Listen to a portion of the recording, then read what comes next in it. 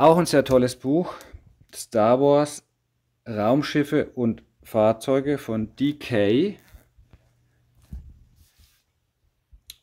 Auch super, ich finde alle Illustrationen geil. Wie es dann in den Innenräumen der großen Raumschiffe auch aussieht. Also da ist echt alles dabei. Die, ja, da haben wir hier das Imperial Shuttle.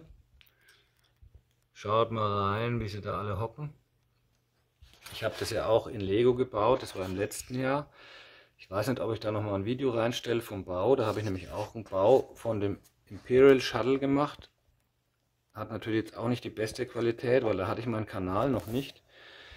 Das ist auch super geil hier in dem Ed, wie es da ausschaut. Also das ist auch ein mega Buch, muss ich sagen. Ich kann jetzt nicht alles finden, aber der Sandcrawler, der Sandkriecher steht hier. Wie es da im Innenraum ausschaut. Also ich meine, das ist natürlich noch eine Ecke heftiger, wie jetzt das Lego-Modell. Und es gibt ja von Mault King, für alle Lego-Fans, ähm, gibt es ja einen Suncrawler, der ist ja um Ecken größer wie der, den ich jetzt baue.